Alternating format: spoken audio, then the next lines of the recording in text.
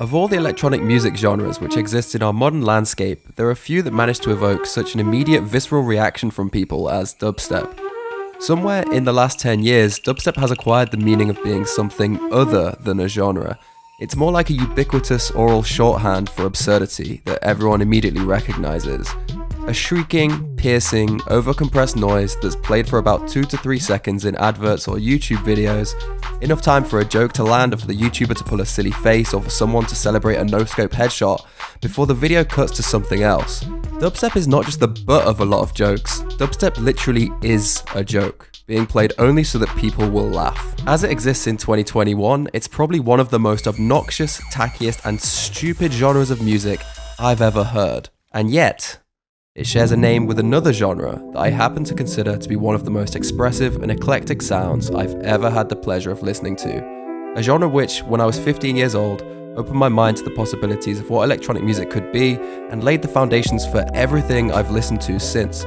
A genre which, no matter how hard I try, continues to occupy the most important place in my memories. How did it happen that the thing I used to love so much became the thing I now most passionately hate? Well, that is what this video is an attempt at sorting out. Get ready to be haunted by the story of how changes in the system led to me being musically homeless. This is why all my homies hate Skrillex.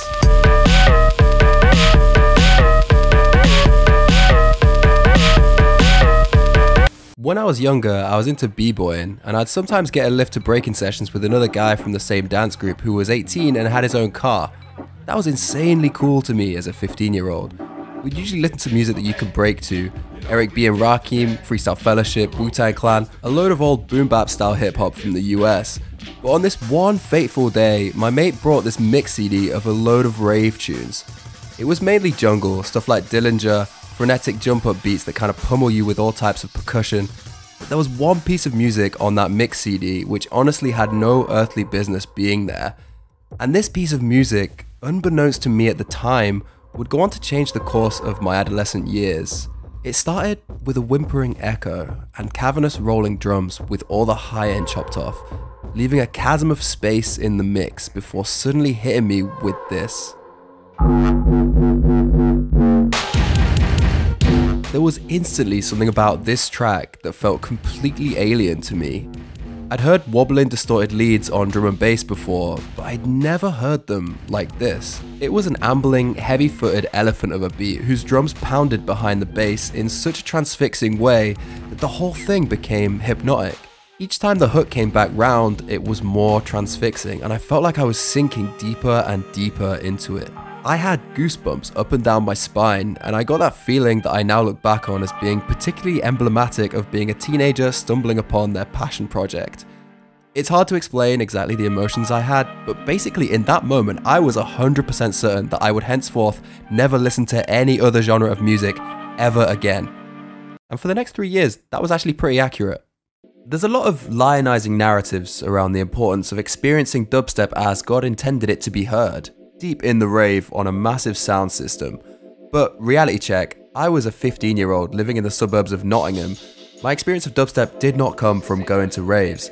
The few that I tried to go to, I wasn't allowed in because I didn't have ID. However, I think there's something to be said for the way that I ended up becoming completely enmeshed in the dubstep scene anyway, in spite of not being able to go to any of the raves. My starting point was a dubstep mix CD called Dubstep All Stars 5. I went through the tracklist putting the names of every artist featured on this CD into LimeWire, which was like a file sharing thing back in the day and LimeWire was so random. The results came directly from other people's computers, so you often got tunes with the wrong file names, uh, tunes that had been ripped from vinyl and sounded like shit, often tunes which had the wrong artist names on them, because people had just cut them out of mixes and straight up guessed what they thought the artist's name was. One of the surprising advantages of getting into dubstep a bit later on in the scene's development like I did, was that by the time I went digging, there was already a massive wealth of material to explore. The stuff that immediately appealed to me was anything by Coki. His tunes sounded so evil, like really horrible and predatory. His bass lines sounded like they'd been squeezed out of a leaky pipe, and he had all these glitched out effects he used to throw you off the beat in the background. Next came Skream. Uh, Skream at his best made tunes which I would describe as psychedelic. The leads were colourful as hell, and you'd hear these dazzling melodies being shot out of a cannon at you that would then be flipped and reinterpreted as the track went on. I also soon developed a taste for Mala's deep orchestral echo chambers. And basically, if you're a dubstep head, you know that Mala's music is basically the olives of the dubstep scene. If anyone says they don't like it, it's just because their taste buds haven't quite matured enough yet. When they're a bit older, they'll be ready to appreciate Burita Boy. It's really hard to put into words just how much of a revelation all this was to me as a 15 year old. Something that happens as you get older as a music fan is that you start being able to compartmentalize everything you hear because it reminds you of the stuff you've listened to before. If someone plays you a footwork track, you'll immediately start comparing it to stuff by DJ Rashad. Whenever you hear a mixtape from a new rapper, you'll straight away start thinking, his flow sounds like Earl's, or his beats sound like Playboi Carti's. And as useful as this can be to contextualize things you're hearing, once your mind is wired like that, you lose the sense of wonderment that can only come from having no idea how a piece of music was made. From hearing something so alien that you have no way of situating it in your mind other than just knowing that you love it. I remember in particular Loefah's remix of The Bug. It starts with this echoey pluck and then hits you with this. I had never heard anyone spit lyrics with a Jamaican patois flow before. I had never heard a bass like that either, that hit like a quasi 808. This wasn't just a case of me hearing something new. It felt to me that this was a track which had been sent from outer space because I literally couldn't place any of the elements of the tune in my mind with anything I'd ever heard before. And yet I loved every bit of it so intensely. I eventually stumbled upon the Rinse Mix CD series, and by extension Rinse FM, a pirate radio station where I could hear dubstep DJs playing all their new shit every week. And I think it was when I started listening to Skream's show on Rinse, Stella Sessions, that dubstep stopped feeling like a hobby and became something more like a way of life for me. Scream was a great producer, but he had something else that came from a different place than pure production skill and made him a true star. And that was the fact that he was fucking hilarious. Hold up, hold up, you ready? We're cracking them. Crack 'em! How can I even describe Stella Sessions? It was like going to your mate's house who you're gassed to see on a personal level, and your mate is whipping out the farthest dubs you've ever heard, and he's as excited to play them to you as you are to hear them. Ah, just once. I gotta feel the impact of that drop one more time. I definitely had a bit of a parasocial friendship thing going on with Skream when I was a teenager. I didn't know him personally. I understood that he was just a DJ who played music I liked. And yet at the same time, he felt like an older brother to me. Upon reflection, I can see that a lot of behaviors which are hard baked into my personality now as an adult, from the slang I use to the sense of humor I have, were probably directly influenced by Skream, emulating the way he used to talk about stuff and finding the exact same things funny. I hate, I hate Gabba. I hate it. Like it could be forgotten about. I don't think anyone would really care. Like there are a few people annoyed in Holland. And that, do you know what I mean? But Can we have a round of applause for Skream? Also, Benga and Skream's friendship. What the fuck? That was the most heartwarming thing I'd ever witnessed as a young dude whose only interest was really bass music. In interviews and on radio shows, you could feel this really sincere love that these two guys had for each other's music and each other. Meanwhile, I was stacking shelves at Iceland every weekend and spending every single pound I earned on dubstep vinyl. I also got a cracked copy of Reason from my older sister's boyfriend specifically so I could start making dubstep music. And thus I began what would become a lifelong hobby of making beats. So although I was not in the clubs in the heyday of dubstep, I still very much felt like I was part of the dubstep movement and that the dubstep movement was a big part of me. It was something bigger than a hobby. It was the entire foundation of my identity. Some teenagers get into sports, others play video games. My thing was being clinically obsessed with dubstep. Sounds of the Youngsta. In order to understand how things started going west in the dubstep scene, you first have to understand what dubstep actually was. And I'm not talking about the Wikipedia definition, yeah, it was a half step club genre with big bass played around 140 beats per minute. No, you have to understand what dubstep really was. In the same way that romantic orchestral music emerged as an emotional response to restrained classicism and rock and roll emerged as a reaction to the anodyne family friendly pop music of the post war period, dubstep emerged as a reaction to UK garage. In many ways, UK garage was the quintessential late 90s genre. The spirit of the music reflected the unbridled time of optimism that was coursing through the veins of the UK. 80s austerity was over, young people had more disposable income than they could ever remember having, and everything was just so colourful. The culture of UK garage music, like everything else in the late 90s, was extravagant as fuck. Now, don't get me wrong, the people going to garage raves were the same as any other young people. They probably had no money and spent everything they owned whiling out at the weekend. But there was something about garage music culture that led to people behaving super extra. Like people would go to the rave in a power suit and bust champagne in the middle of the dance floor. It was glorious musical escapism, a sort of public spectacle that everyone in the garage scene collaboratively participated in. The garage movement brought people from Grey Britain into a more colourful and aspirational world, and you can see this reflected in the promo shots that artists rolled out at the time. They reflect this off the wall, vibrant lifestyle that the garage movement projected. Even in the promo shots of So Solid crew, the baddest garage MCs who were themselves a repudiation of certain trends in the wider movement, there are these residual symbols of extravagant fashion and ostentatious wealth. They were members of the garage underground, but they were also royalty. By contrast, look at the promo shots of dubstep artists which started emerging in the 2000s. And straight away, there's a lot of different visual information here. First, look at the people. From the way they dress, to the way they hold themselves, to the way they're framed in the shot, what's striking is that they are remarkable only in their unremarkableness. They're people who you'd pass on the street and not give a moment's notice to.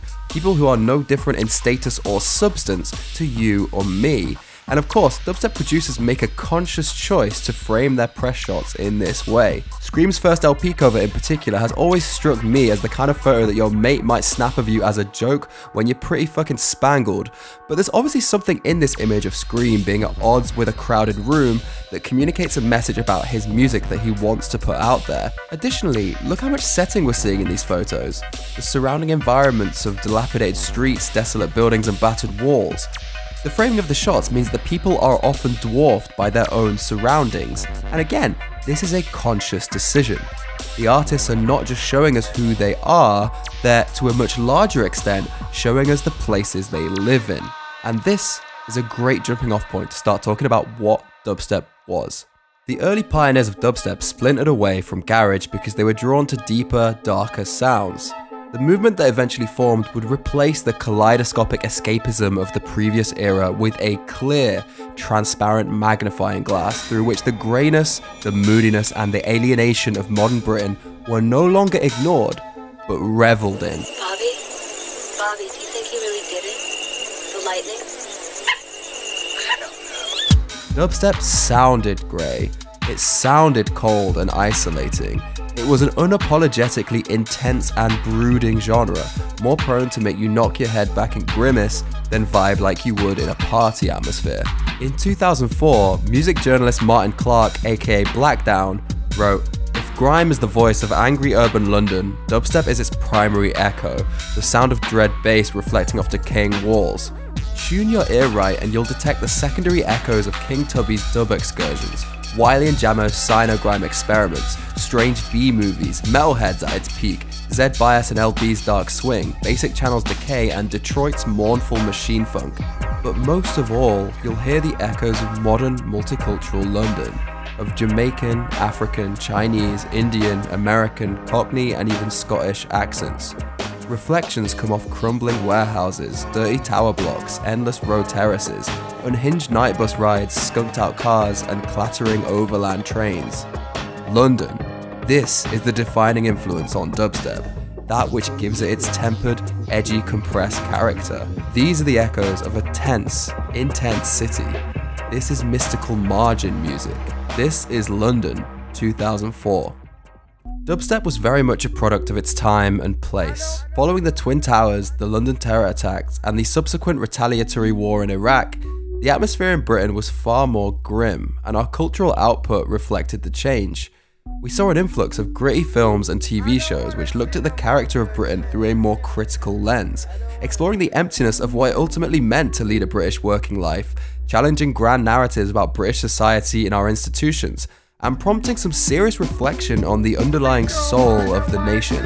Dubstep captured this shift towards gritty realism in music form. But what was so deeply resonant about the genre was its underlying ability to capture beauty in the darkness. The sound palette of dubstep was moody, and yet the tunes that came out of it often produced these uplifting, transcendental moments that sounded all the more satisfying because they came from a dark and brooding place.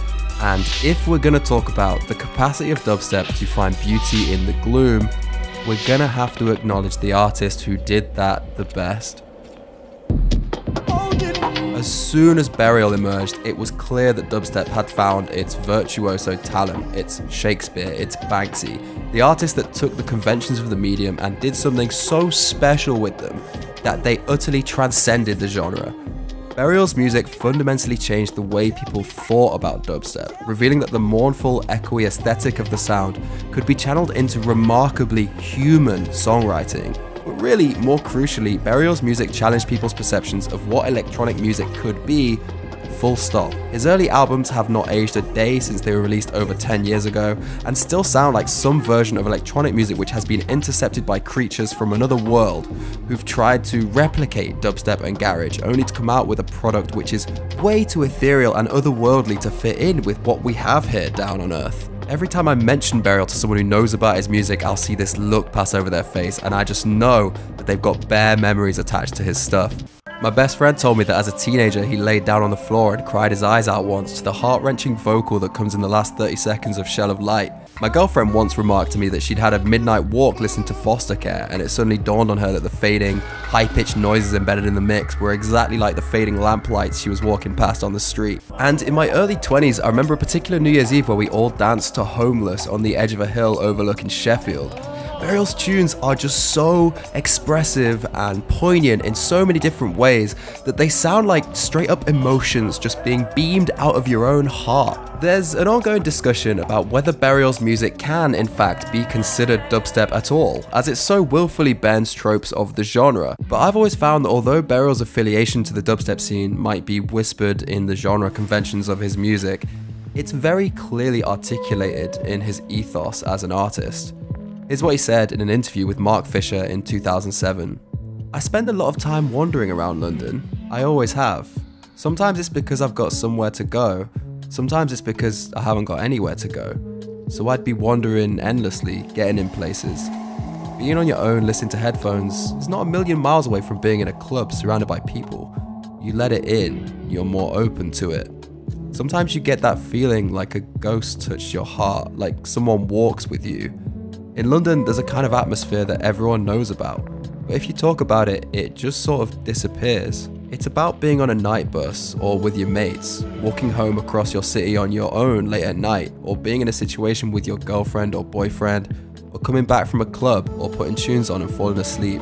If you're well into tunes, your life starts to weave around them.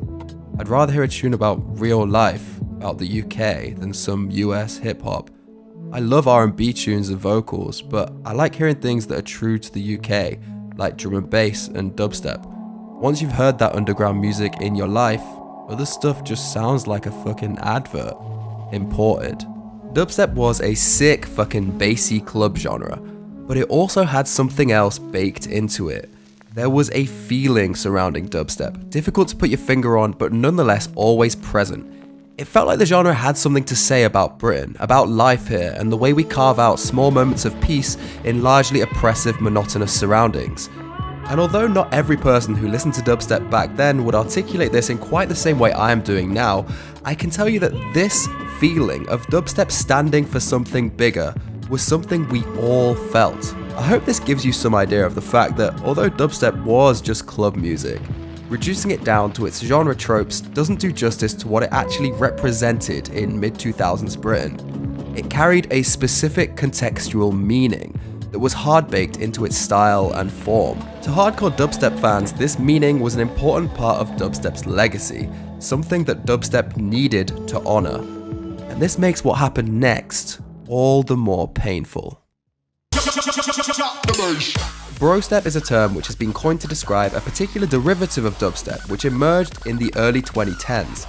This style of dubstep leans towards the use of melodic Ibiza sounding intros, big, crisp, heavy metal drums, and waves upon waves of distorted, modulated bass lines which frantically smash their way into tracks, leading to a listening experience of absolute chaos. The word brostep was originally coined by DJ Koze around 2010 and was subsequently popularized by a spin profile of the movement in 2011.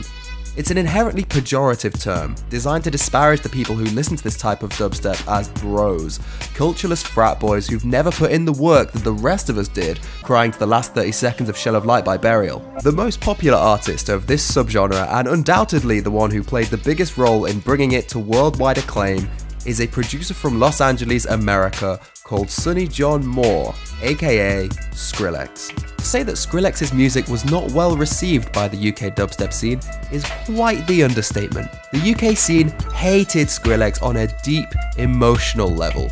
We hated his screechy music, we hated his fans, we hated the essence of who he was and what he stood for so much.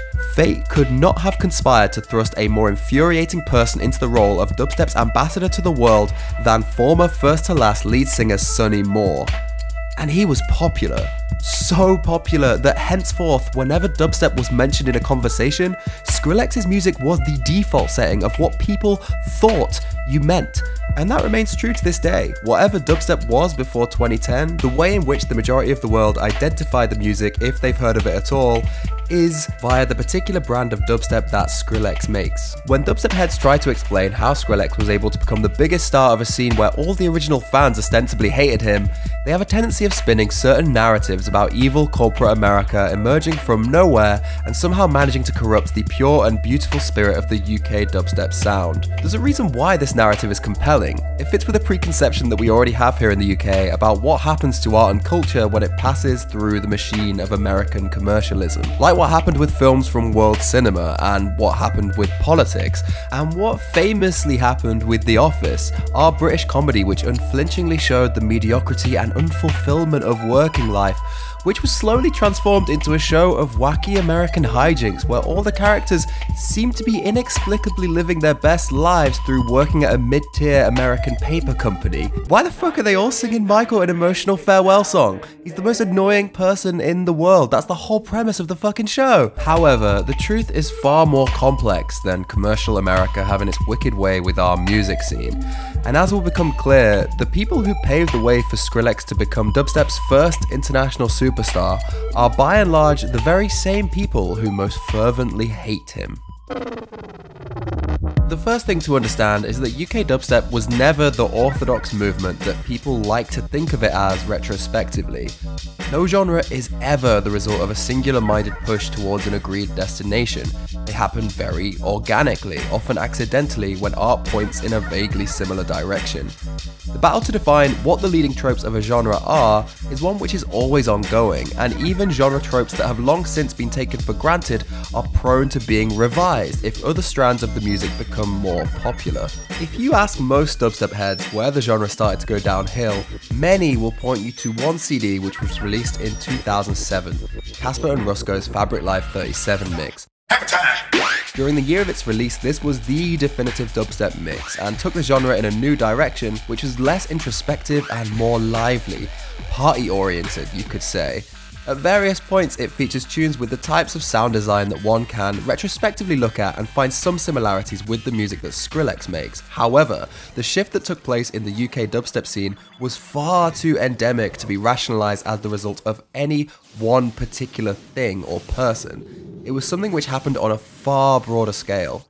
If you want to understand the fall of dubstep, the time period which is most relevant to look at is 2008 to 2010, an era which I like to call the dubstep nether zone, because during this time, the sound was being pushed in so many different directions that it became completely undefined and amorphous as a musical space. Dubstep had been going for long enough that producers were ready to drastically challenge its established tropes, but whilst there was a shared appetite for change, different producers had very different visions for what form that change should take. I remember when Zomby's EP dropped on Hyperdub and how much that record whipped the rug out from under my feet. If Burial's music revealed the extent to which dubstep could tug on your heartstrings, Zomby's Beats revealed how much dubstep could fuck with your head. This EP was, and still is, one of the most dark and twisted collections of SNES sounding beats I'd ever heard.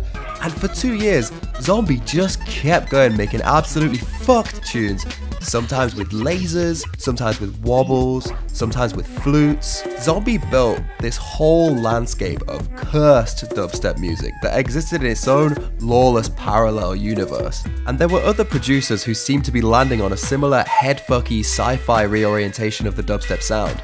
People like Ikonika who put out this mind-blowing tune, Please, and Becoming Real, who was channeling surrealism in these gloopy, square wave tinged compositions that were sublimely beautiful and so well and intricately orchestrated. Then you had another cohort of producers who were pushing very vocalist centric tracks, artists like Von D, Fela and Clouds, whose music has always, to me, felt like it has this Icelandic folky feel to it. Vocal tunes had, of course, always been a feature of dubstep, but post 2008, it felt like there was a concerted effort made to collaborate with vocalists whose ways of singing suited the ethereal, hazy quality that the genre had always had. And the results are some of the most intriguing bits of niche pop music you'll ever hear. Meanwhile, there were other people taking the doom-filled darkness of the sound to its logical conclusion. Shackleton, Appleblim, and Peverelist come to mind. They mainly channeled the droning ambience of early dubstep beats and created a powerful sense of dread over rolling drums, leading to an intense and immersive sort of soundscape listening experience. And then we had fucking my top boys, the Hemlock Collective, who were light years ahead of their time, but still very much anchored to the dubstep scene. The early work of Untold in particular is genius deconstructed club music that is so jarring yet unbelievably satisfying to listen to. And my favourite dubstep tune of all time was one which was released on Untold's label at the end of 2009. A wonky, mesmerizing, soulful record by a then completely unknown 20 year old producer called James Blake. And yes, that is the James Blake, who now collaborates with Beyonce and plays his piano music to millions of people all over the world. The first bits of art he ever put out into the world were incredible dubstep tunes. He is gonna get his own video on my channel one day. I love his early beats so fucking much. However, if there was one strain of dubstep that you felt you could point at and put money on at the time and say, that right there, that's the future of the sound, it would be the music pioneered by a young Bristolian called Joker. To all intents and purposes, Joker had completely different sensibilities as a producer from the ones that had defined the dubstep sound just two years previous. His tracks, far from big dark and brooding, were glimmering monuments to a colourful and nostalgic past. 90s gangster leads, tracks which paid homage to 1980s vocoder funk, some melodies that sounded like they came straight out of SNES games, and others that sounded like the thugged out version of the Blade Runner soundtrack but it was all executed so beautifully that you'd be hard pressed to find anyone in the scene who wasn't immediately enraptured with Joker as soon as they heard his beats. And it showed in the amount of artists who subsequently emerged taking inspiration from him. We had Gemmy making the evil Pokemon trainer version of Joker's music, taking the gangster leads and dropping them into what feels like a long boss fight sequence. Guido, whose bittersweet tracks now sound like a UK forerunner to Clams Casino's early work, in my opinion, and Ghostmutt, whose track Thoroughbred is just like, I think it's a Destiny's Child sample, and these cool as fuck blip melodies which run up and down all the way through the tune, it's an absolute vibe. This type of dubstep, which drew its inspiration from 80s era soundtracks and old school video games, coined its own name. Purple music, words which were immortalized in the title of Joker's biggest rave track, Purple City. And there were so many other producers orbiting the purple sound who were so talented. It was pretty mind blowing how much creative juice we seem to be getting from this one niche subgenre of a genre that was itself just a small corner of the UK electronic music landscape. Purple music is the answer I would have given if anyone had asked me what kind of dubstep would blow up and take the genre to the next level on the world stage in 2010. But over the course of 2009, I slowly started realizing that the vast majority of new listeners who were flocking to hear dubstep in the raves had not come to hear purple music. They were here for something else. Now we must address the elephant in the room that I've purposefully left out of the discussion until this point. Whilst there were all these eccentric strains of dubstep popping off between 2008 and 2010, they were pretty much all being collectively overshadowed by another form of the sound, which was not just carving out a space for itself, but growing exponentially in popularity with each passing month. And the name that we had for this back in 2008 was dubstep tear out music. Tear Out tracks were distinguishable for their chaotic energy which they created through hard drums and warping mid-range bass lines. When we say mid-range, what we mean is that the bass lines were specifically engineered to register highly in the mid frequencies, as opposed to earlier dubstep tracks where the bass lines were typically in the low end frequencies. And I can give you a mini demonstration of how this works. So here I have a mid-range bass line. In order to turn it into a low-end bass line, I'd remove all the high-end frequencies from it like this, so that those frequencies no longer come through, and listen to how the sound changes as the high frequencies are removed. It suddenly sounds a lot deeper because the low frequencies are the only part of the bass you can hear, and on a track it creates this cavernous, meditative vibe which can be very deep and powerful when played on a big sound system.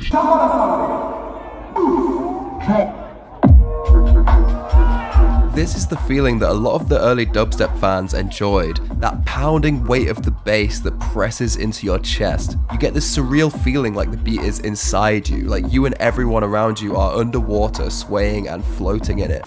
And now let me bring the mid-range frequencies back into this bass line and immediately you can hear how much of a difference that makes. The bass line is a much more potent force in the mix and this drastically changes the character of the tune as a whole. It now sounds really disruptive, it's all up in your ear. It feels like a way more rowdy listening experience just from the bass taking up more frequency room. Tear out dubstep tracks with mid-range bass lines offered a different type of experience in the rave because the fact that the bass lines were so full and fat gave them a dazzling wow factor when they dropped.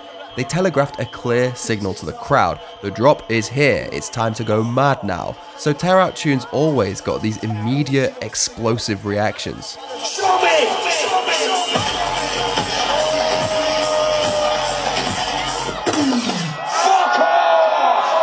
Small but interesting side note, there's a language culture in dubstep and 140 music in general of telling people to fuck off when you're vibing to a tune you like. I don't know when this started, but I've always found it kind of joke to think about an unsuspecting person landing on a Khan and Neek track and wondering why their fans appear to be telling them to fuck off and shut up. Very disrespectful. Now, I can't stress the following point enough. If your only criteria for judging music is how deep the bass is, you're an idiot. There's a time and place for every bassline, and there's nothing that makes deeper dubstep tracks inherently better than the mid-range ones. They just have different functions in the dance. I personally love tear out dubstep tracks. When you've got a little groove going and squirmy basslines popping off over the top, it's a madness. It sounds so sick to me. I get this instant grin on my face like, yes, it's time to go mad. Ever since Coki's tune SpongeBob was being dropped in sets in 2007, it was clear that amongst dubstep listeners there was a thirst for these big tear out crowd stopper tunes where deepness wasn't a factor. Writing for Pitchfork in 2007, Martin Clark wrote, a recent dance floor fave in Chef and Mala sets is a new Coki dub, possibly called SpongeBob. For a while, parts of dubstep have been entering into a drum and bass style harder than thou contest, and SpongeBob certainly holds its own. The harder than thou camp often deploy heavy doses of wobbled bass lines, a style that Coki did as much as anyone to pioneer, and yet this tune takes it to the next level. Deploying dark, aggressive synths in rapidly fluctuating interval patterns, they overload the tune so there's little space left for other elements, drums, etc. The result, so cold and alien, does differentiate itself from other run-of-the-mill dark dubstep beats. But the question needs to be asked, aesthetically, does dubstep really need to get that hard, dark and cold? And the dubstep scene replied, Fuck off Blackdown, you nerd. Coki's beats are sick mate, there's no way this is to backfire on the scene. A question which might occur to you, particularly if you're new to dubstep, is what separates Coki's beats from the ones that Skrillex makes? Why was Coki's crazy music embraced by the UK dubstep scene while Skrillex's crazy music was dismissed as brostep? I think that's a really good question because on the surface of things, Tear Out Dubstep and Brostep both do very similar things, engineering disruptive mid-range bass lines for chaos in the dance.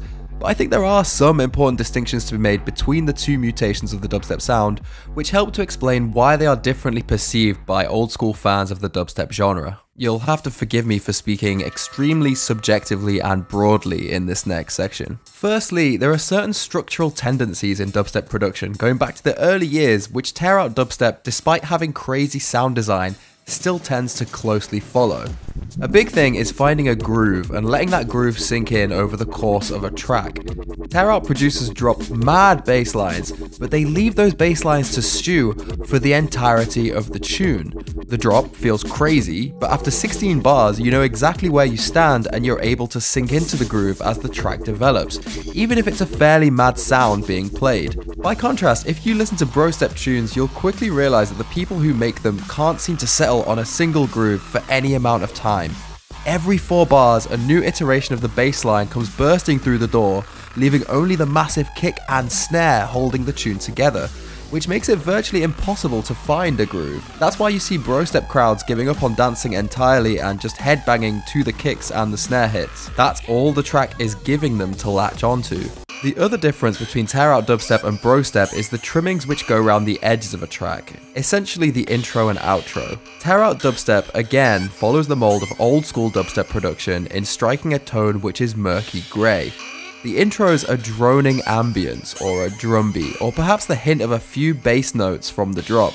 I think this makes tear out dubstep beats feel like they exist in the same aesthetic universe as the old school dubstep classics. By contrast, brostep tunes strike very bold tones of fluorescent crimson and deepest, darkest black on their way towards a drop. Brostep producers have this tendency of saying the quiet part out loud. For example, instead of creating sci-fi ambience, they'll have a literal alien who comes in and delivers a monologue like, I am an evil alien and I have a bass weapon and I am going to shoot it at you. Power up the bass cannon.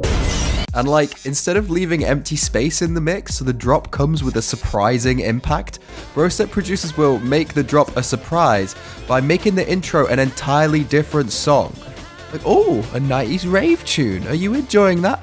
Psych? That was merely a genius trick so that you'd be surprised by my bass line. So I guess you could say that whilst the bassline sound design of Tear Out Dubstep differentiated it from the beats you'd hear in 2006 from people like Mala and Loefah, the structural tendencies and aesthetic of Tear Out Dubstep situated it very much in the same sonic universe as its predecessor genre. By contrast, Brostep appropriated the one craziest thing about Tear Out Dubstep, the bassline noises, and proceeded to throw everything else out the window, with the result that old school fans could no longer see any trace of the genre they liked in the beats that Brostep producers were making. Nonetheless, it is true that both Coki and Skrillex achieved success through experimentation with crazy mid-range bass design, albeit on different respective levels and with different audiences, so I think it's worth exploring what was appealing to people about that specifically. Tear out tunes like SpongeBob by Coki enjoyed several advantages over deeper tunes which had their bass low in the mix. The first advantage we've already talked about, tear out tunes were rave dynamite. However, another advantage they enjoyed was entirely practical. You could hear Coki's bass lines on any speaker. You didn't need to be at a rave, you didn't need to be in a car, you didn't even need to be wearing headphones. You could literally play SpongeBob out of your laptop and you're still hearing that mad growling bass. It still sounds crazy. If you compare it to tunes like Eyes by Mala, which dubstep heads typically venerate as being the higher art form of the sound, there's no comparison. Eyes sound so weak on tinny speakers, it's like there's nothing there. And I have heard Eyes on a Funktion-One sound system. It's insane. You feel like you can see the waves of sound in air. It really is an out of body experience which nothing else even remotely compares to.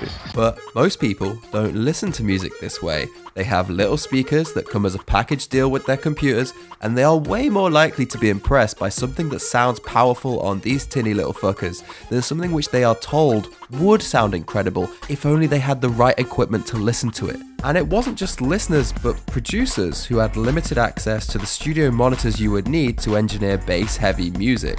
It's no accident that the kinds of mid-range bass lines which took off in tear out dubstep near the end of the 2000s were very similar to grime music and bassline, genres pioneered by young producers who suddenly found themselves with access to programs like Fruity Loops and Reason, but didn't have good speakers to blast their tunes on. Filling up the whole mix with wonky growling bass lines was a great way of achieving impact with an audience who would be listening to the tunes in their cars, on phones, and on laptops.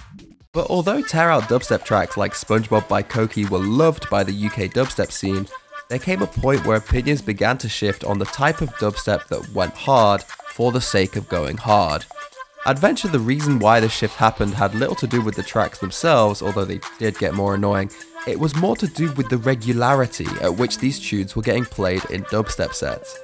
Previously, tear out tracks had always been held in equilibrium by other variations of the dubstep sound, the electricity of hearing a tune by Coki in the rave came from the fact that it would explode out of nowhere, straddled on either side by tunes which were not by Coki. It was the variation, the way that dubstep mixes would switch up to something mad and then simmer back down to more introspective dubstep that made Go Into the Night such an immensely enjoyable wild ride. But between 2008 and 2010, the ratio of tear out dubstep to everything else was becoming skewed.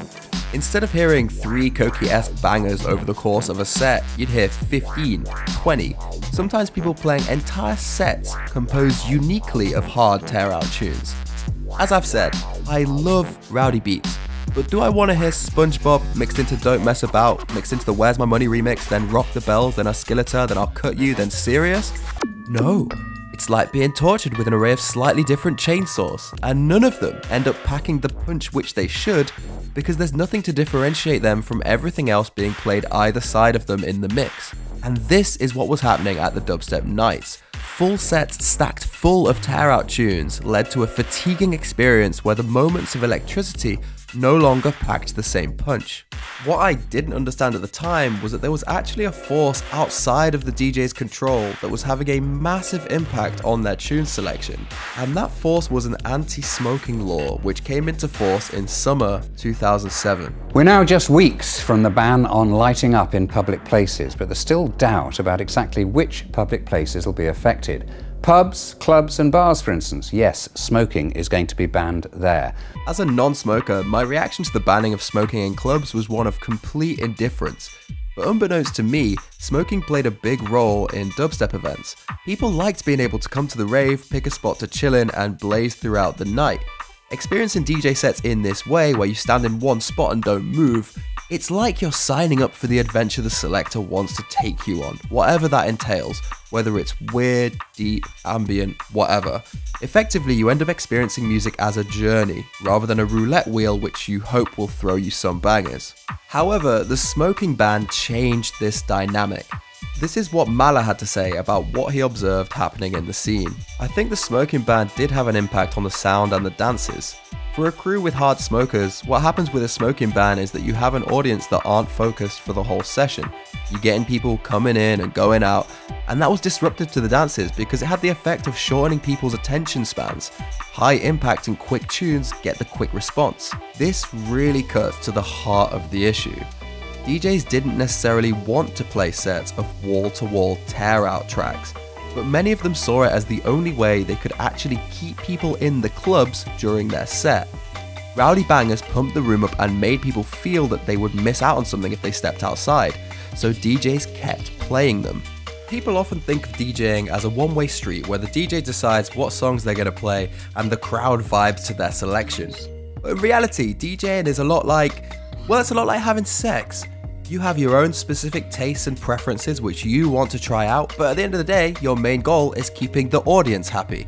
If you're doing something and they like it, keep going. Why would you stop doing something that gives them pleasure? If you do something that you really like but they're not into it at all, then maybe save those eccentric techniques for another occasion. Your ultimate goal here is making sure other people are happy for the duration of your performance. What was happening in dubstep raves was that DJs were getting a pretty clear yes signal every time they dropped a tear out beat which made the DJs less and less inclined to deviate from that winning tactic. And the effect which this dynamic had on the scene was massive.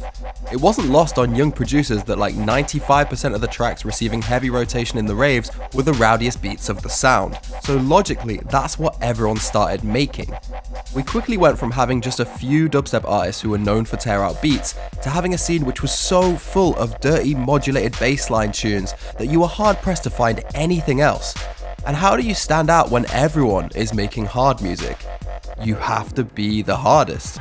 The harder than thou competition which Blackdown had warned about when he first heard SpongeBob by Coki in 2007 was coming true, in a way that was far more horrible and tasteless than even he could ever have imagined. As this transformation of dubstep music was taking place, the people coming to the raves were also changing. The crowd of people who went to dubstep nights in the early days were a mix of dreads, art school students, weed smokers, and music nerds, and the vibe was everyone experiencing the music in their own headspace, so dubstep nights felt like a refuge away from commercial club culture. By 2010, that had massively changed. Without going into too much detail, it felt like the mainstream club commercialism which dubstep had been a safe haven from had finally finally caught up with it. There was more exhibitionism. Guys who uniquely turned up to hit on girls. People taking video for their Instagram. All kinds of stuff which just makes you feel like you're in some mainstream student night but with slightly harder music on the sound system. And the new fans had come to hear exactly the type of beats which by this point I hated with a passion. Even tear out DJs like Rusko were left with a bad taste in their mouths from the kind of crowds coming to the dubstep events. Brostep is sort of my fault, but now I'm starting to hate it in a way. It's like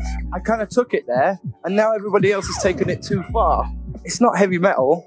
I think I've again I've been in America, I've been touring for a long time, and even more so, they just want it as hard as you can. They're like, Rusko, I want you to melt my face off tonight. Like play the hardest, hardest you got. And I'm like, it's not about playing the hardest, hardest tracks for an hour and a half. It's like someone screaming in your face for an hour. You don't want that. This is why I say that the change which took place in the dubstep scene can't be whittled down to any particular song, mix CD, or artist. It was happening in the very DNA of dubstep itself, with the genre taking on a whole new fan base and signification as a form of music. There came a certain pivotal moment for me in early 2010 when, after walking from room to room at a dubstep night for what felt like hours, hating every minute of it, I had to admit to myself that it was over. I'd harbored this secret hope that brostep would prove to be a fad that might pass, but it was just getting bigger. And although it was just music, the decision to stop going to dubstep nights was heartbreaking for me. I still love dubstep. The dubstep Netherzone era had been the best time to be a dubstep listener, with so much range and creativity amongst the producers that it was still difficult for me to fathom how brostep had ended up coming out on top. I'd invested all my time and energy into dubstep. I'd made lifelong friends with people through it. The realization that I could no longer be part of a scene that had been my home for the last three years hit me like a ton of bricks. I felt like I was being forced to surrender part of my identity that I would never get back, and that really sucked. When Skrillex emerged in 2010, the rage which flowed from the UK dubstep scene towards him happened not because he defied some unwritten rules about what the tropes of dubstep should be, but rather because he personified everyone's worst anxieties of what we could already see happening all around us. The dark, underwater dance hall we once all fell in love with had become a monument to exhibitionism. It no longer held up a mirror to the world we lived in, it defiantly turned away in favour of meaningless absurdity, and the massive popularity of Skrillex was glowing, irrefutable confirmation of the fact that we had lost the dubstep culture war. Skrillex was the cold bucket of water to the face that made us realise that the enduring legacy of dubstep would not be the memory of it which we had in our minds, it would be the parts of the scene which we'd all been wishing would go away and we despised Skrillex for putting that last nail in the coffin. It was easier to be mad at Skrillex than it was to be angry at the ambiguous sequence of events in our own country which led to music tastes changing, club dynamics transforming, and producers adapting to the new climate. Perhaps the saddest and most depressing truth about what happened with dubstep is that the dubstep music we liked, just like every other piece of art, was a specific product of its time and place, which was never meant to last forever. It's just that we didn't realize it had a lifespan until it was over. As usually happens with a bit of time and perspective, those things that once made me feel bitter have given way to stronger feelings of nostalgia and thankfulness to have been part of something bigger than myself for those formative years of my life. Although the dubstep records I listened to between 2007 and 2010 were not consequential for the trajectory the sound would take as a whole, they were very consequential for me as a person. Making and listening to dubstep beats was something that encouraged me to share parts of myself with the world through art, and I think that impulse has never really died. It's what makes me upload vids to YouTube now. I also remember that the surprise of learning that Ikonika, one of my favourite producers in the scene, was actually a woman, was the first event in a series which led me to question some of the teenage boy assumptions I'd had about men and women what kind of art they make, which itself was a catalyst for me starting to think about society in a different way and forming my political beliefs. And it sounds weird to say it, but every genre of music I listen to now in 2021 has a pathway which links it back to my dubstep years. Hearing Flowdan on Skeng led me to Roll Deep, then Trim, then Flirta D and the whole of the UK grime scene, Hearing Zomby play with wonky beats led me to seek out artists like Flying Lotus, and consequently LA beats as a subgenre of hip hop. And the first time I ever heard Joanna Newsom's voice was on a bootleg by 16-bit, which then led me on to discovering a whole world of amazing folk music. People like Sufjan Stevens, Pascal Pinon, and Alice Boman, who've become the soundtrack to my more recent adult years. No matter how my music taste changes between now and the point where I'm an old man,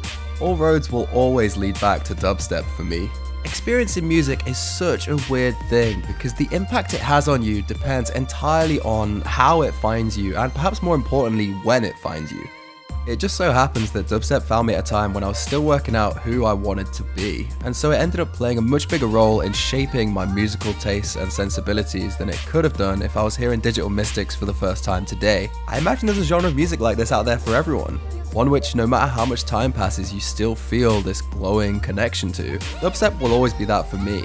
The biggest passion I've ever had, the best hobby I've ever had, but most importantly, my musical origin story.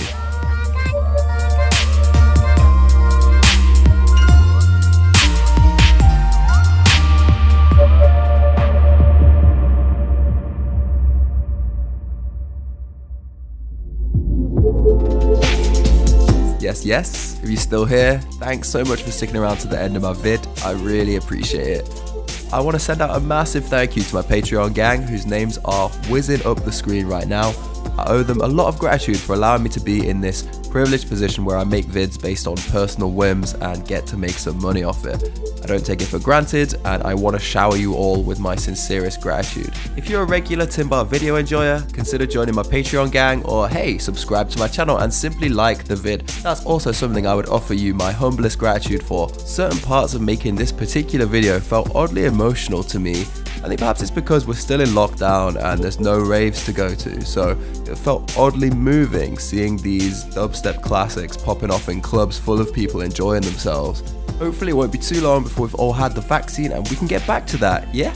You know, good times are waiting us on the other side of the year. I hope everyone is doing well generally, stay safe out there, and I will now love you and leave you in a bit.